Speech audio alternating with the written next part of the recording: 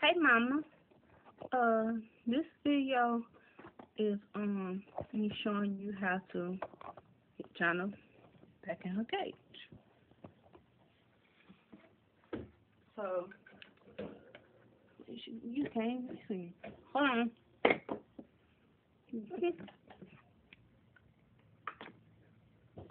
okay, now. So this is what I do.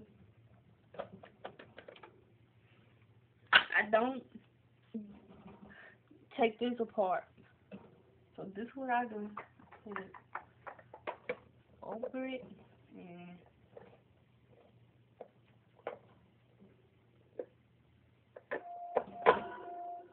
she gets right in. So now I got to open it. Okay.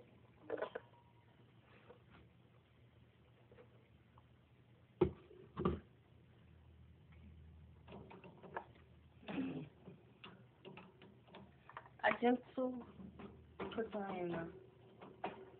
So basically, I did is put it in, well, taking it out, that, put it in, is that.